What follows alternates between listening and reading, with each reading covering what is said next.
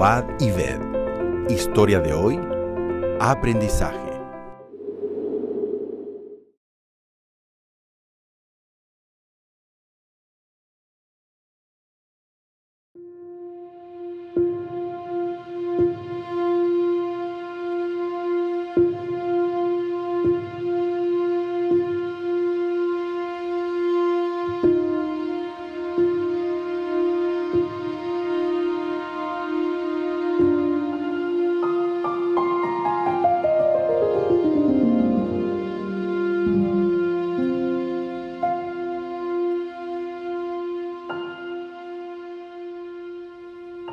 Buenos días, doctor.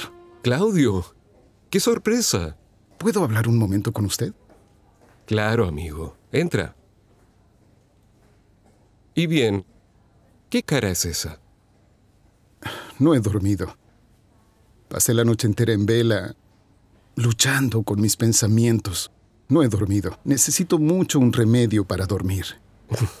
Claudio, Claudio, los remedios no van a resolver tu problema, mi amigo. Necesitas estudiar más la Biblia, confiar más en Dios. Siéntate, conversemos un poco más. Creo que tiene razón. Cuando yo comencé a estudiar la Biblia, me sentí muy emocionado. Pero después... ¿Qué pasó? ¿Alguna cosa te incomodó? A decir verdad, sí. Ese asunto del 10% para la iglesia no lo considero correcto. Tengo una idea. ¿Qué tal si vas a mi casa mañana por la tarde y ahí conversamos con más tranquilidad? ¿Qué dices? Me parece bien. Yo voy. De acuerdo entonces, mañana por la tarde, ¿eh? Y no olvides llevar la Biblia. Por supuesto.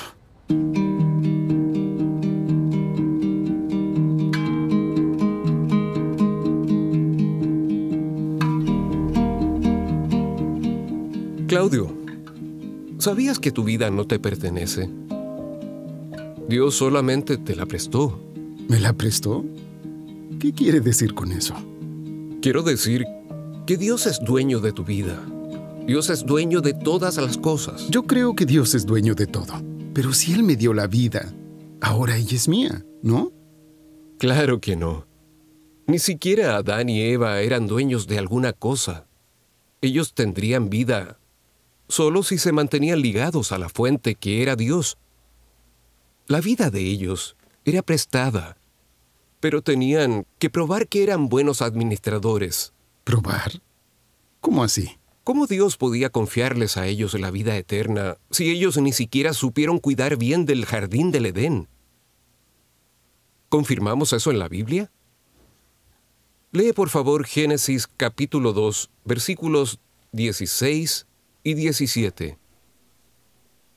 Y el Señor Dios le dio esta orden. De todo árbol del jardín comerás libremente, pero del árbol del conocimiento del bien y del mal no comerás, porque el día que de él comieres, ciertamente morirás. Ah, entonces el árbol es un tipo de prueba? Exactamente. Este libro, el comentario bíblico adventista, nos muestra que el propósito de Dios era repoblar el cielo con la familia humana, en caso que se mostraran obedientes a la palabra.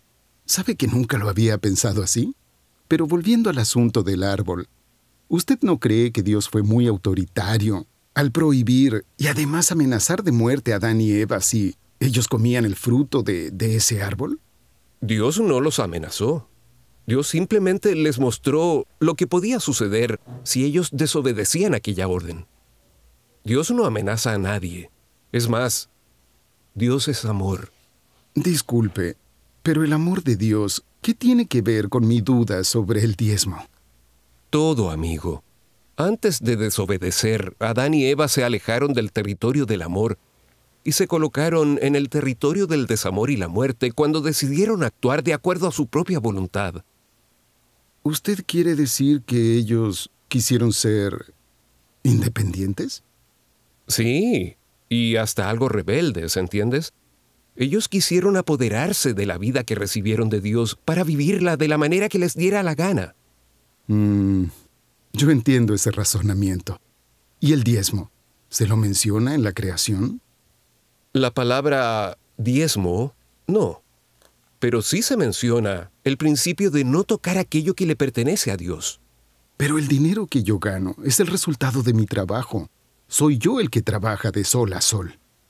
Claudio, ¿tú realmente crees que todo lo que tienes es fruto de tu esfuerzo?